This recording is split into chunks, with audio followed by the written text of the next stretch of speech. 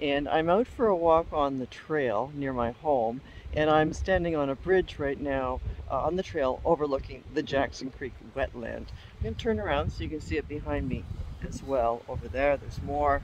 It's just, it's a great spot. Come back here. And what I wanted to give you is that little prayer that I said out loud that you, you wanted to have. So here it is. I'm taking this time to create my day and I'm affecting the field of possibilities.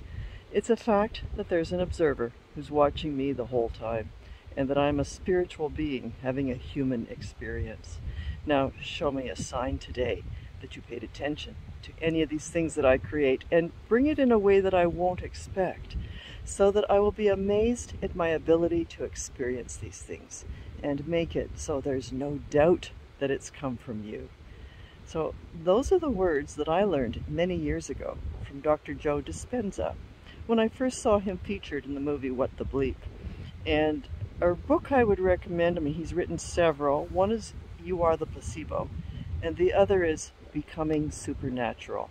So I would invite you to check out those books and uh, let me know if you enjoyed my little video that I created for you. Look forward to speaking with you again soon.